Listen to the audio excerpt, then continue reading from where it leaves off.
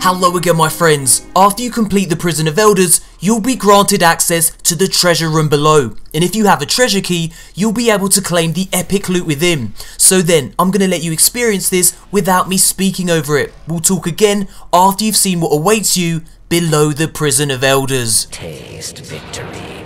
It is sweet.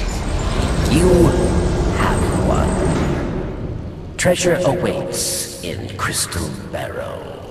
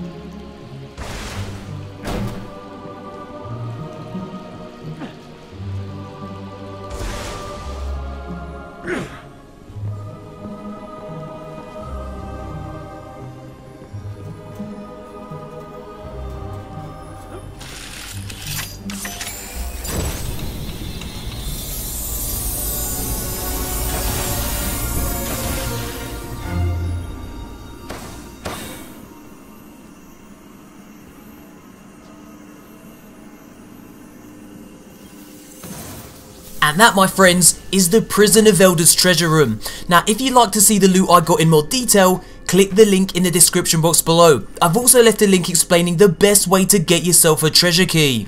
And guys, stay tuned to this channel for more exclusive content in the build up to the launch of House of Wolves, including a full reef tour where I inspect every item and shader from every vendor and even the reef's ghost locations. And that my friends brings us to the end of the video. Thumbs up if you enjoyed it, subscribe for daily Destiny content, and thanks for watching you beautiful bastards. And as always, until next time Guardians.